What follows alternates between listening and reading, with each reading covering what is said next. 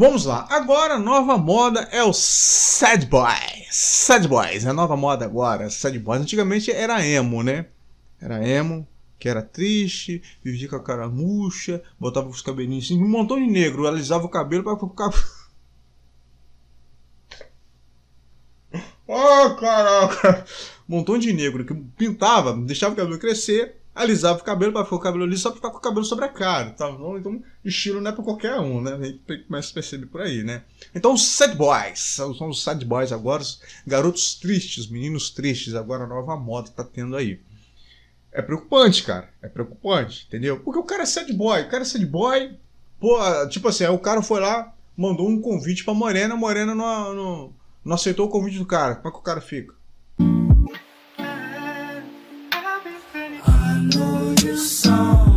Esse é o sad boy, né? O sad boy que não sabe reagir a, a, ao não. Não sabe reagir. Dá morte, desespero. Aí tem aquele sad boy brincando com o pai, aí não tem pai. É o sad boy, garoto triste. Aí brincando com a namorada, namorado invisível, sad boy, garoto triste. Antigamente eram, os emos, né? Acabou a bateria da câmera e eu tô gravando com o celular agora. a qualidade não vai ficar a mesma, mas enfim, o negócio dá mandar um bom conteúdo. Então, como estava dizendo, os sad boys, os garotos tristes, estão aí na moda agora. Isso é perigoso. Isso é perigoso, porque isso se tornando moda, modinha agora, igual. Lembra da moda da emo, do emo? Quando se tornou? Era tristeza para tudo quanto é lado. Tristeza. Agora já são, já são diretos, os sad boys, os garotos tristes. Já, já é direto já. Entendeu? Então, esses mesmos meninos são aqueles que é, sofrem isolamentos, né?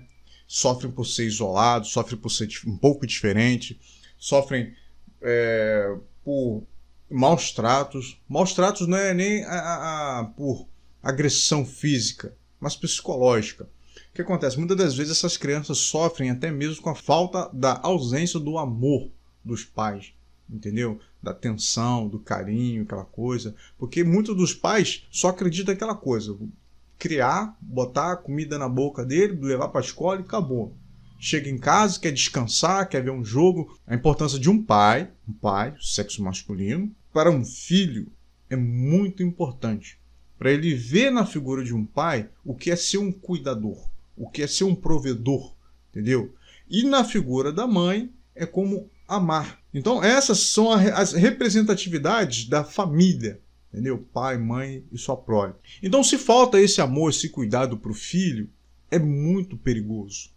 É perigoso demais, demais, demais mesmo, entendeu? Porque a criança cresce, cresce isolada, cresce viciada em internet. Então, tudo que está na internet ela vai consumir. Então, já que é modinha sad boys, ela vai pegar aquela modinha para ela. Vai pegar aquela modinha e vai começar a ficar mais triste ainda vai começar a ouvir musiquinhas tristes, igual do X-Tentation, Tentation, não sei que morreu, que eram o rei dos sad boys, eu acho, né? Então cria música triste, de, músicas depressivas, deprimidas, música de pessoas com, com suicidas, cara. Olha que mentalidade. Quem que, que vai ficar acompanhando essas coisas? Então a pessoa já está num, num transtorno, já está ali numa situação complicada. Então ela já se envolve num mundo mais complicado dentro desse, dessa fantasia, posso dizer uma fantasia. Então ela acaba se complicando mais ainda. Entendeu? Então temos que nos libertar disso. Então você, pai, preste atenção no seu filho. Como que ele está? O que, que ele está fazendo na internet? Como que ele está agindo com você? Ele está muito nervoso, está muito agitado, está mal na escola. Algum problema tem, cara. Algum problema tem. Então cabe você, pai, prestar atenção no seu filho. Se você não consegue prestar atenção no seu próprio filho, como você vai dar sequência, entendeu? A sua vida. Só você que vai estar vivendo e a tua, a tua família precisa de você. Então tem que prestar muito bem atenção no que o seu filho está fazendo. Às vezes ele está ouvindo conselhos, maus conselhos de outras pessoas e tomando aquilo para ele. Entendeu? Ah, não, vamos fugir da realidade, vamos nos drogar que é a forma que eles têm de fugir da realidade, se drogar. Aqui, aqui os repórteres não, não dizem isso com, com, como deveriam fazer, com, com a frequência que acontece, por não amedrontar a população. Porque, pelo menos aqui no Espírito Santo, no, em Vitória, o que dá de pessoas se suicidando da terceira ponte, você não acredita. Cara. É porque a mídia não fala para não, não assustar a população. O tanto de gente que vai lá se joga porque não aguenta mais viver. E a pessoa que se suicida, ela não quer morrer. Ela quer dar fim à sua tristeza, ela quer dar fim à sua dor. Ela não aguenta mais aquela solidão, aquela tristeza. Ela olha as pessoas ao redor, ninguém dá atenção, ninguém olha por ela. E ela quer dar fim àquilo ali. Então ela acha, então ela se afunda nas drogas, nas bebidas e não acha solução. Então ela acaba com a própria vida. Não há nada tão confortável de você entregar a sua vida nas mãos de Jesus. É o único que pode tirar isso de dentro de você. O único que pode te fortalecer. Depressão, cara, é uma doença, é uma doença silenciosa, é um veneno silencioso. E existe sim. Há muito tempo eu relutei contra isso e tal. Não, que depressão é falta da coça, é depressão é falta de serviço, depressão. Eu já fui ignorante assim. Entendeu? Então quando você vê isso acontecendo perto de você, foi caraca, esse negócio é real mesmo. Negócio tenso, negócio complicado. Né? Então o que acontece? Você se você tem uma pessoa que passa por isso, preste atenção. Como que ela age? Como que ela reage? Então passe a dar mais atenção a essa pessoa. Passe a conversar mais. Passe a ouvi-la mais. Entendeu? Passe a procurar como lidar com esse tipo de pessoa. Porque essa modinha sad boys, isso é perigoso. Eu tava até debatendo com a menina no, no, no YouTube uma vez, que ela fala ah, que os pais não compreendem os filhos, que os filhos sofrem. Então por que, que os filhos sofrem?